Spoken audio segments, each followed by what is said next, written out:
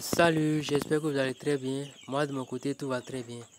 Je m'appelle Abdia, je suis promoteur de la ferme de AE ainsi que de cette chaîne. Sur cette chaîne, nous parlons de l'élevage de poulets, que ce soit les poulets locaux, les poulets Goliath, des poulets de chair. Nous faisons également la reproduction des Cobra 500. Alors, si vous êtes intéressé par tout ce qui a rapport avec l'élevage de poulets, vous êtes au bon endroit. Il suffira juste de vous abonner, de cliquer sur la cloche de notification pour ne plus rater nos prochaines vidéos. La coccidiose est une maladie qui attaque les poulets, que ce soit les poulets locaux, les poulets gouliates, les poulets de chair. Mais ça a plus d'impact chez les poulets de chair en fait.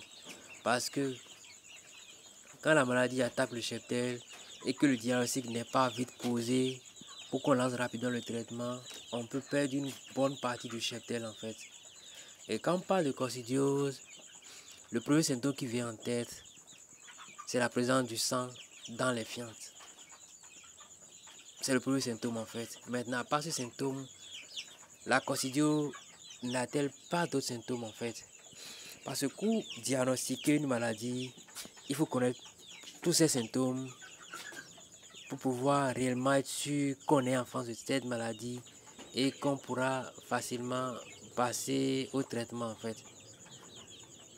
Maintenant, si vous connaissez seulement un symptôme d'une maladie, quand la maladie va se manifester à travers d'autres symptômes, il vous sera difficile de pouvoir la diagnostiquer et ce sera dangereux pour l'élever là en fait.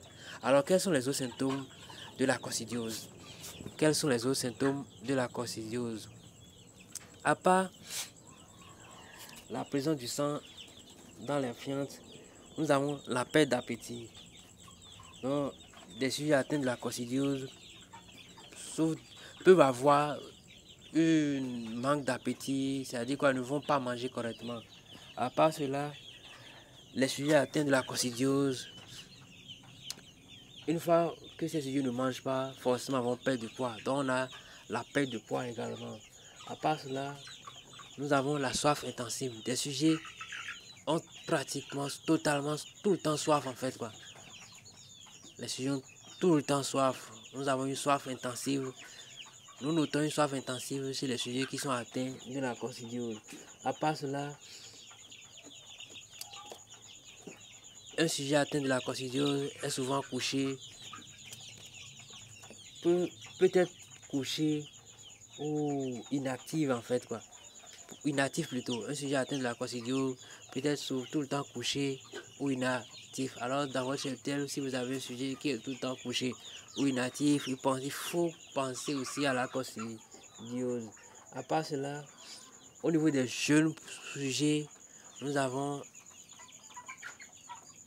un ralentissement de la croissance en fait.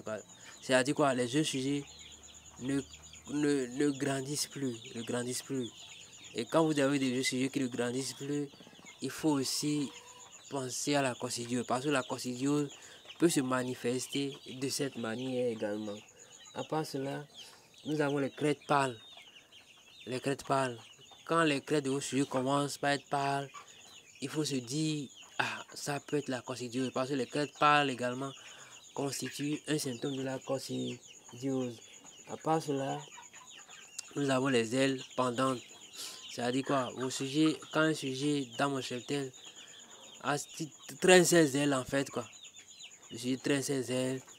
Il faut savoir que ah, ça peut être la considération qui dérange ce sujet-là. À part cela, chez les sujets qui sont en train de pondre ou bien qui sont en train, ou bien ceux des sujets reproducteurs, ça peut, la considération peut les empêcher de pondre. À leur niveau, ça peut provoquer un arrêt de pondre ou une baisse du taux de À part cela, dans vos cheptels, quand les sujets sont tout le temps serrés les uns contre les autres,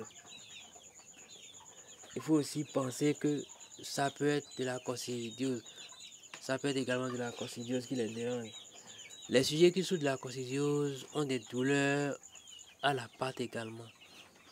Donc, au vu de tout cela, on peut dire que la coccidiose n'a pas seulement un seul symptôme. Un seul symptôme, comme nous le pensons le plus souvent en fait. Quoi.